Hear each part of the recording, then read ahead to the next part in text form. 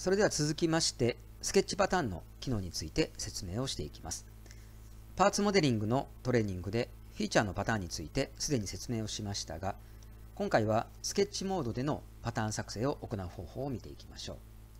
それでは 2D スケッチを有効化します。XY 平面を選択をしまして、続いて長方形と、あとはもう一つ、このようなラインを作成してみます。そして、この線形スケッチ配列というのをクリックしまして、配列をしたいオブジェクトを選択します。そして線形パスのところに、先ほど作成したこちらのライン。例えばこれを40ミリ間隔で配列を10個にします。はいそして2つ目のパスに、例えば y 軸を設定しまして、こちらの間隔を例えば50ミリで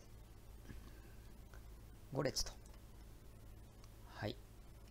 このような形で、今作成をした長方形1つとこちらのラインに対してこのように配列と間隔を指定するだけでこのような図形を作成することができるようになります。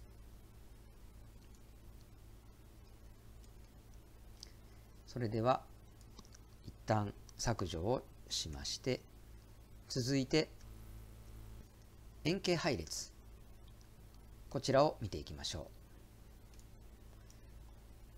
はい。では今回はこのような円を描きまして、そして円形配列。こちらのオブジェクトを等間隔で、例えば10個。そして中心点をこちらの Z 軸と指定をしますと、このような図形を作成することができます。はい。